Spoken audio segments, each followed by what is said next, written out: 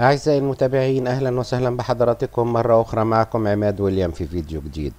النهاردة هتكلم عن سر من أسرار مايكروسوفت الجديدة. تعالوا مع بعض نشوف السر بتاع النهاردة.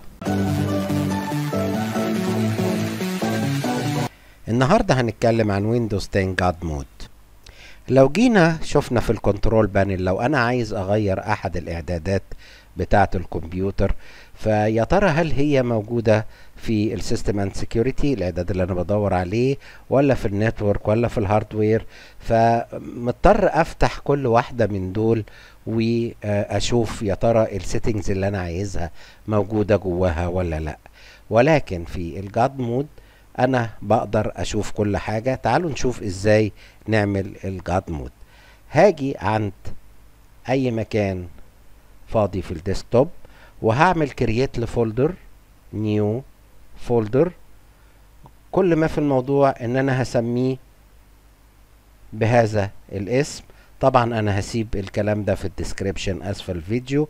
بمجرد ما هدوس enter هلاقيه إن هو خد شكل ال control panel لما آجي أفتحها هلاقي كل ال settings اللي موجودة في مكان واحد وليها عنوان administrative tools وهكذا أقدر إن أنا هما عددهم كبير وأقدر إن أنا أنزل وأشوف اللي أنا عايزه هل هو في ال device and printer ولا في ال internet option فهو كده كل ال categories عندي في مكان واحد وأقدر إن أنا أختار اللي أنا عايزه.